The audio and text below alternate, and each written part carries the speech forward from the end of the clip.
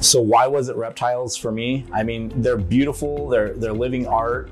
Uh, they're very misunderstood creatures. You know, there's been a lot of times in my life where I kind of felt misunderstood and and not included, and that's that's why I like growing and, and showing people the reptile community because a lot of us are kind of loners and and you know we like to do our own things, uh, kind of like kind of like the reptiles do it, it just makes sense to to give everybody a community and a platform to to grow and you know chase their passion. Another thing that I really like about you know keeping the reptiles is I get to build a piece of the world in my house that I might never get to see in real life.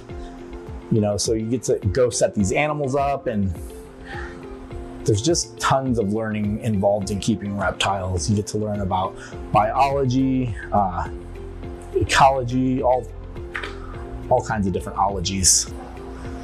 Something that I really enjoy about it is, you know, like I have a piece of Australia in my house. I have a piece of the rainforest in my house. Uh, there's just so many little biospheres that, that I've been able to create as a reptile keeper, uh, you know, replicating these animals' natural environment that, you know, not having a good day, I, I can go out and I can I can visit some of my animals from Australia or you know visit some of my animals from the Congo and just sit and enjoy that.